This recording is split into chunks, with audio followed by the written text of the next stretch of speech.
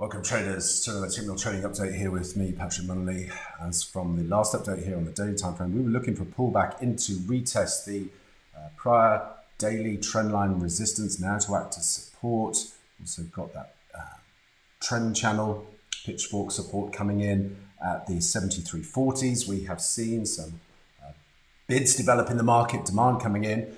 We're now looking for a move Close through the pivots here at 74.30, 74.50 to engage on the long side, looking for a break of weekly range resistance. On then to retest prior cycle highs, 76.60s, en route to an ideal test of the monthly projected range resistance at 77.16. As always, traders, plan the trade, trade the plan, and most importantly, manage your risk. Until next time, thanks very much.